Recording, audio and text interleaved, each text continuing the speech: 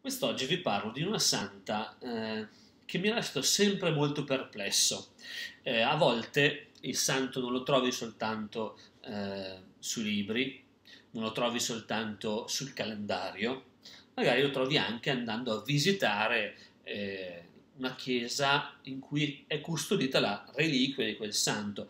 Non dobbiamo correre dietro le reliquie, non è questo il senso, come se fosse anche qua qualcosa legato alla scaramanzia, alla fortuna, se ho la reliquia di quel santo allora eh, ho il portafortuna, non è quella roba lì la reliquia. La reliquia è una testimonianza della santità effettiva, del fa- della devozione verso un santo che può essere appunto il, il, l'occasione per pregare un santo perché interceda presso Dio. Non è certo il santo che, ti, che fa eh, il miracolo o che eh, sforna come se fossero delle, eh, delle merendine eh, la grazia che ti serve, non è così che funziona.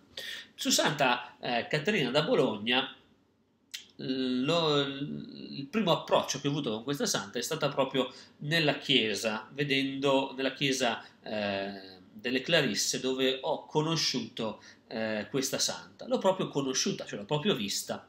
Eh sì, perché Santa Caterina da Bologna eh, si fa vedere. Eh, è una santa eh, che non sta sottoterra, non sta dietro la lapide di una, eh, di una tomba, ma si fa vedere.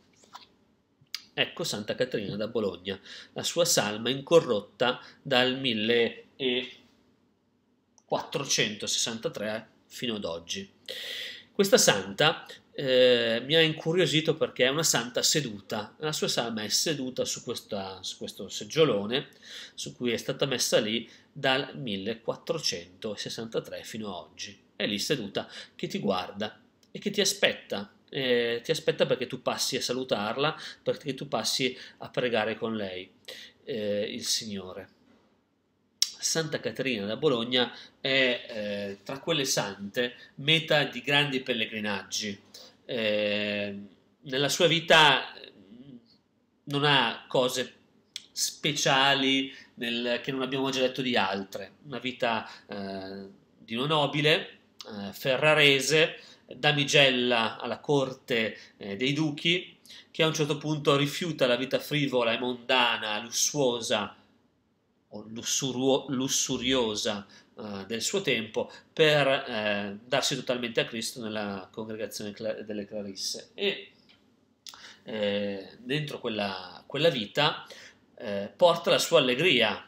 Eh sì, perché lei era, era una cortigiana, una vita di corte, ma eh, aveva una grande predisposizione per l'arte, per la musica, per il canto, era una ragazza vivace e questo lo porta anche all'interno della sua congregazione, eh, dando vita davvero a una vita comunitaria, una vita monastica molto bella, molto, dove le suore godevano proprio della presenza di questa, di questa loro consorella.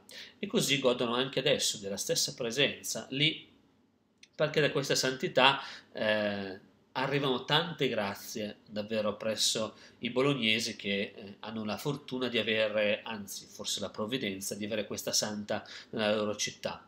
Ci rifacciamo a Santa Caterina e chiediamo a lei tante grazie da chiedere presso, presso Dio Padre per eh, nostra, il nostro cammino anche di questa Quaresima. Buona giornata!